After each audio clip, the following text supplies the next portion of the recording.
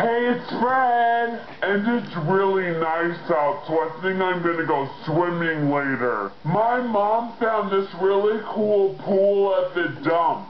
It's really big and really deep. I think I might drown. And also, I got a letter in the mail. It might be from my dad. To Fred.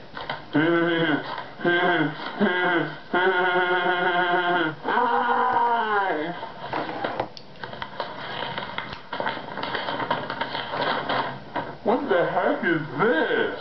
Ha ha, you probably thought this was your dad, you loser. Anyways, I told you that I know where you live. P.S. Your voice is weird. From original youtube.com slash Fred owner.